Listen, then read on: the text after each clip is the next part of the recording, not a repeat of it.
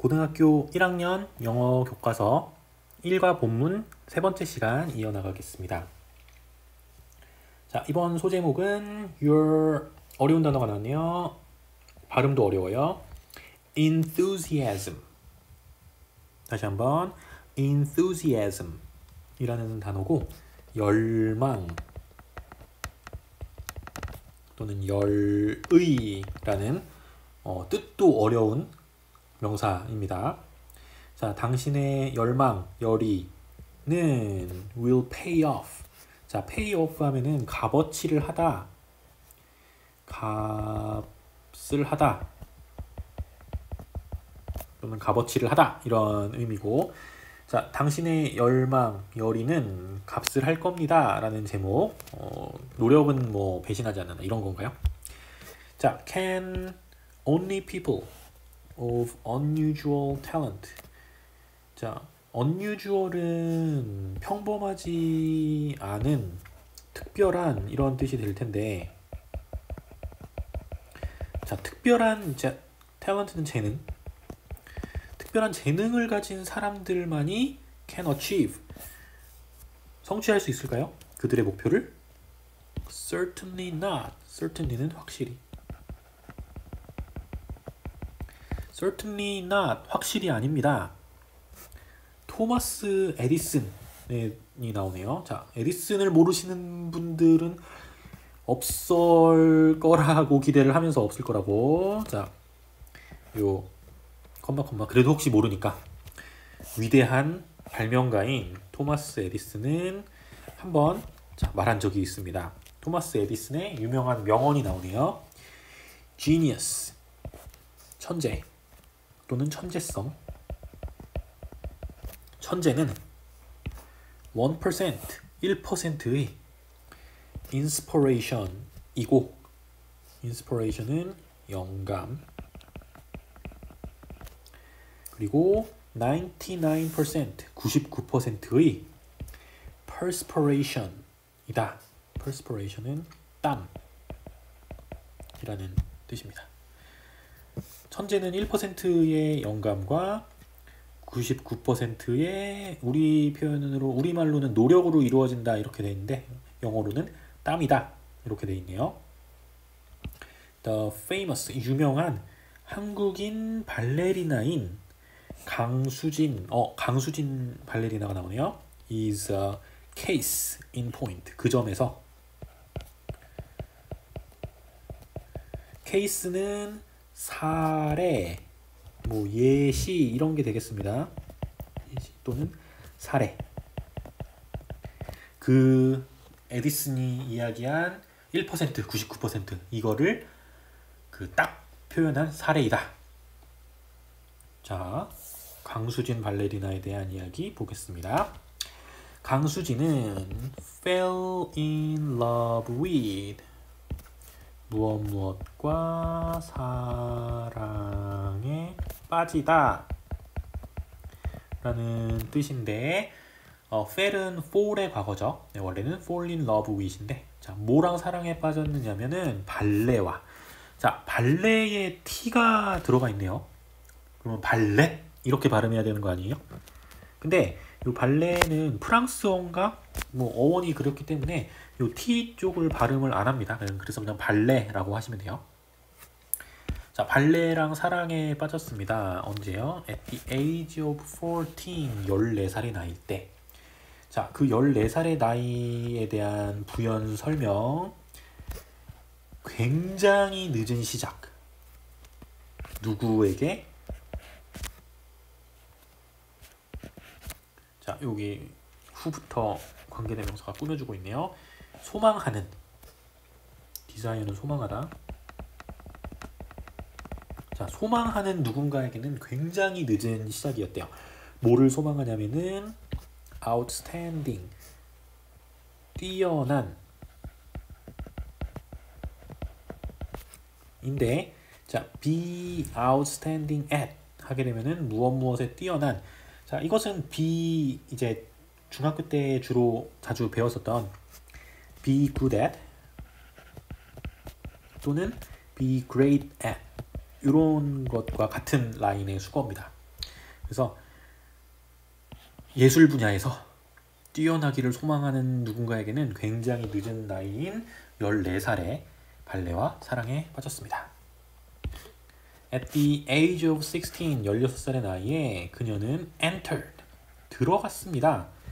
모나코 로얄 발레 스쿨인데 거기는 자 여기 컴마 컴마는 그 생략 없다고 생각하시면 돼요.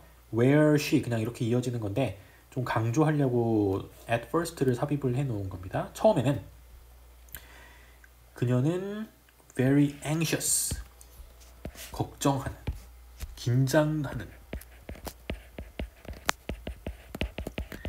처음에는 굉장히 걱정을 했대요. 왜냐하면 other students 다른 학생들은 perform 자 perform이 수행하다라는 뜻이죠.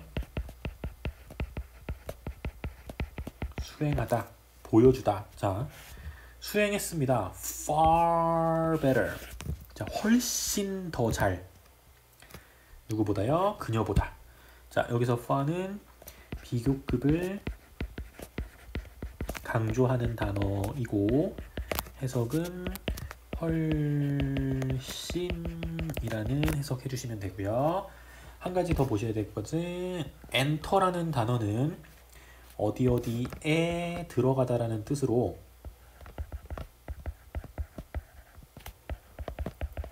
자, 어디 어디에라는 것까지 포함되어 있기 때문에 그 뒤에 into나 뭐 in이나 into 같은 전치사를 쓰지 않습니다.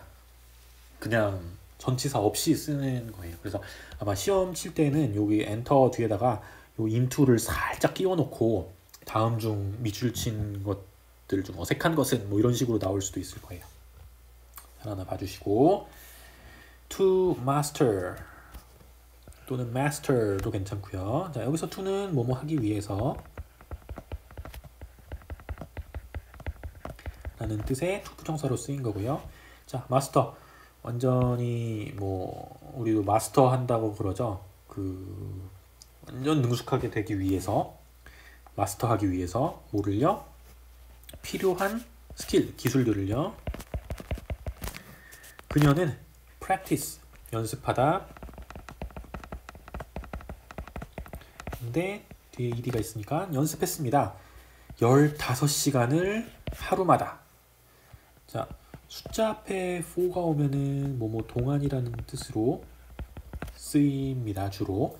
그리고 여기서 어는 퍼라는 뜻의 뭐뭐마다 라는 의미로 쓰는 거고 하루에 15시간씩 어, 연습을 했대요. 그녀의 제목에서 나왔었던 enthusiasm, 열망, 열이 뭐를 위한 열망, 발레를 위한 열망은 만들었습니다. 그녀가 연습하도록 뭐를요? 그 동작, 움직임을 수백 번, 심지어 수천 번을요. 언제까지? 그녀가 perfected 완벽하게 만들 때까지. 자, 여기서는 perfect가 동사로 쓰여서 완벽히 만들다, 완벽히 하다 라는 뜻이 되겠죠? each one, 각각의 동작을.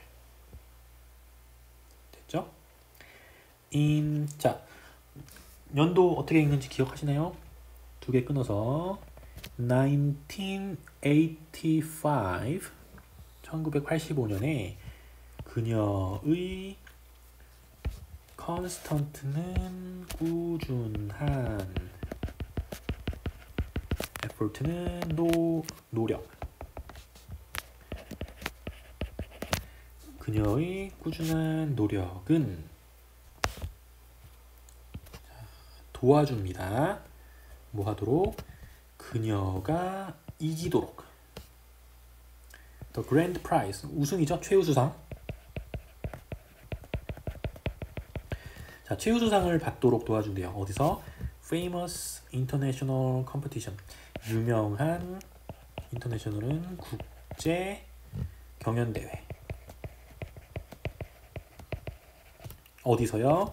어, 라잔 스위츠랜드 뭐 스위, 스위스의 어떤 도시 이름인가 봐요. 네. 거기서 우승하게 만들었습니다. 도와주었습니다. 자, 두 가지만 보고 이제 마무리할 건데 여기 make, made라는 동사가 나왔고 그 다음에 help라는 동사가 나왔습니다. 요 make랑 help 둘 다 그 뒤에 두 가지 정보가 필요한 동사들이에요. 근데 두 가지 정보는 어떤 게 필요하냐면 목적어가 목적 보어 하게 만들다.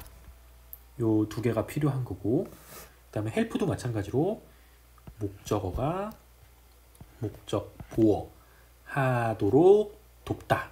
이런 건데 자 목적어 목적 보어 이게 무슨 말인지 모르시면은 지금 지금은 그냥 두 개가 필요하다고 생각하시고 여기도 1, 2 두 개가 필요하다고 생각하시고 이 두 개를 정확하게 찾아서 두 개를 잘 찾아서 1이 2하게 만들다. 1이 2하게 돕다. 이렇게만 보셔도 됩니다. 그래서 여기 어차피 본문에 나와 있는 거 계속 반복해서 보셔야 되는 거니까 해석이 어려우시면은 윗부분은 1이 2하게 만들다 1이 2하게 도와주다. 이렇게 해석해 주시고 다음에 비슷하게 나오는 게 있으면 또 비슷하게 묶어가지고 두 개 찾으셔가지고 이렇게 해석해내시면 됩니다.